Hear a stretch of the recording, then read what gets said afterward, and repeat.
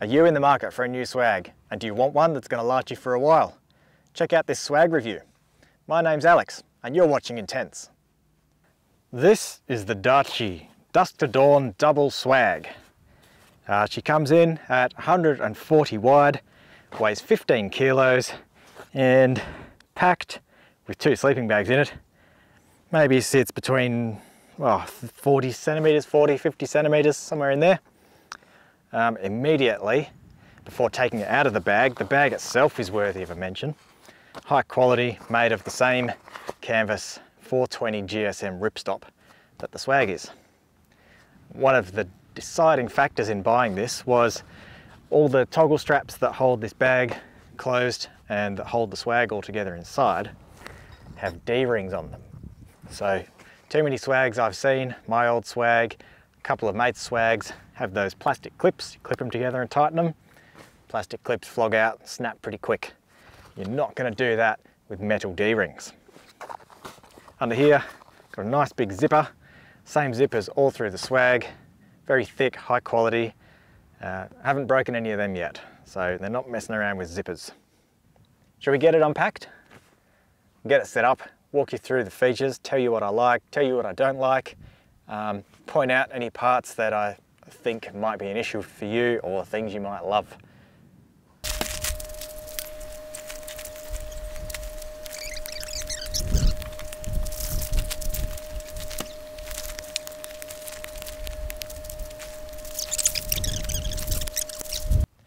And there she is, 215 centimeters long, 80 centimeters high at your maximum head height, and three poles. The three pole design is one of the reasons I chose this swag. Did not want any more than that. Unfortunately, because of its size, you couldn't get away with less really. You need a center pole here to give you the tension. The end poles, they actually have a bit of a curve in them already, so you're not straining them as hard as you try and set it up. Uh, on a lot of cheaper swags, I've seen these little black plastic clips broken. Hasn't happened on these in my year of use. And then you've got your center spreader bar, which you just stretch out and lock in. Nice and tight, sturdy, very easy. And a couple of bigger versions of these clips. Snap it over the top. Uh, 420 GSM ripstop canvas. The tension across the middle here as you can see, it sags a little bit. Um, you don't really get much better than that without getting more and more poles on there. But it's not too bad. I've got it pegged out at both ends, which really helps you keep that tension on it. I don't often bother, um, but the thing with having it pegged out is it does make the doors a little bit easier to open. So I'll open it up now and show you.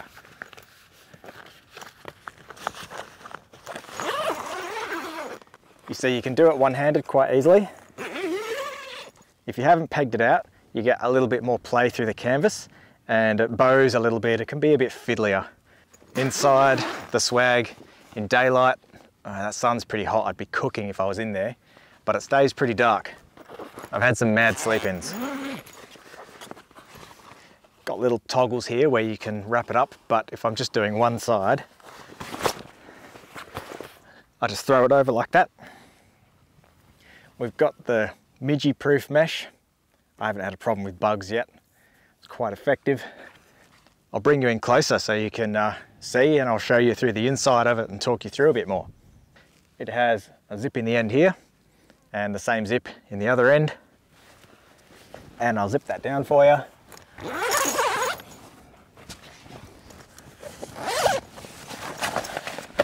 Nice big window there the same window on the other end so you can get some mad cross-flow ventilation. And this actually comes all the way down too. So you wouldn't use this as an entrance because you've got this big rainfly cover here. But uh, I don't know, maybe you want to pass some keys out to someone through the end there. You can zip that fly screen down. There's pockets in both ends, here, here, same on the other end. Just made out of canvas and the fly screen material, just to poke your keys and stuff in. And some more toggles inside to tie up your fly screen. So if you're lying in here at night, you've got this big fly screen that you can stare at the sky, at the sky with. I have, oh, flick sand all through it. I have only had them fully open on one night. Uh, it was a very hot summer's night, beautiful and cool. Um, the problem I had was a bushfire happened over the hill and all the ash swung around overnight. And ash is very fine. So it settled on the fly screen and came through and I woke up covered in dust. Um, inside I keep my two sleeping bags at all times. And both of them, I keep them unzipped, fully rolled out, and I have no problem at all rolling the swag up with that bedding in it. Underneath that is a 50 mil high density foam mattress. Uh, it's got a removable cover on it, which you can wash. 50 mil is great for me. Um, I don't have a problem. I don't require 100% can't feel the ground comfort. Um, sometimes I feel a lump here and there. I'm okay with that. If you're one of those people that is particularly picky with mattresses, I believe you can order this same swag and upgrade the mattress to a 70 mil. Don't quote me on that, but I think you can. Now I chose this double model because I need to fit two people in from time to time. I do quite often use it by myself, um, it's 140 wide, so it's double, but it's not a massive double. Like some of the super king size doubles, you're getting up to 150, 155 wide. Uh, this one's down at 140. What I ideally wanted was I figured that you wouldn't want to go much smaller than 130 wide for two people. And I didn't want to go too far over 140. You can fit it side to side in your car. It's not such a mission, it'll fit in your ute tray. Some of those bigger ones, you're really cramming the thing in diagonally, pain in the backside. So waterproofedness.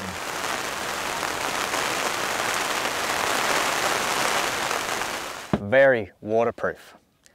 I have owned this swag for a year, like I said. Um, I've taken it for two weeks across to Adelaide and back, slept in it in every night. I've slept in absolute torrential downpours, I've slept in light rain, I've got it wet a few times.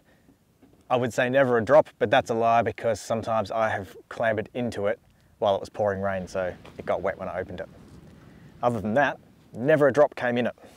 It's got the old uh, PVC bucket floor, pretty standard on most swags these days. Uh, nice, tough material, not gonna puncture, very waterproof. And one thing I forgot to mention about the side doors, get that fly mesh out the way, if you're really keen, you can actually set these up like a little awning. It's got a little ring in the corner. Uh, you can buy an optional pole kit, uh, $40. I'm not sure if that $40 includes two or four poles, but um, if you want, you can set it up like a little awning like that. So let's talk about the price and where it was designed. So Darche is an Australian company and all of their swags and stuff are Australian design, but made in China. So I like to know where my stuff's coming from and I like to buy Australian made where possible. At least it's Australian owned and designed. So it's part the way there. As far as cost goes, uh, they retail, retail price is 560. You will easily pick one up for 460 and I think I paid 450. The reasons I think you'll love it is the canvas is nice and waterproof, stays dark in the morning. It's a simple three pole setup. Haven't snapped a single pole yet. Haven't broken anything on the swag yet. And those D-rings, oh mate, D-rings are the best. Uh, some of the reasons you might not like it, if you're particularly picky about tension, um, it sags a little bit here.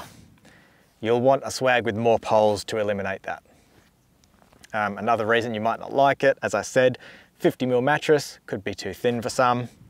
And on the flip side of the D-rings, they're nice and tough, they're not gonna break, um, but if your hands aren't quite cut out for it and it's a bit, might be a little bit hard on your hands to get those D-rings undone, they can be a little bit tricky sometimes. Otherwise, Dusk to Dawn 1400, definitely perfect go-to for a simple double swag setup. Alright, thanks for watching my review of the Dusk to Dawn 1400. If you've enjoyed this video, give it a thumbs up. If you hated it, click the thumbs down button twice. Subscribe to the channel, and I'll see you next time.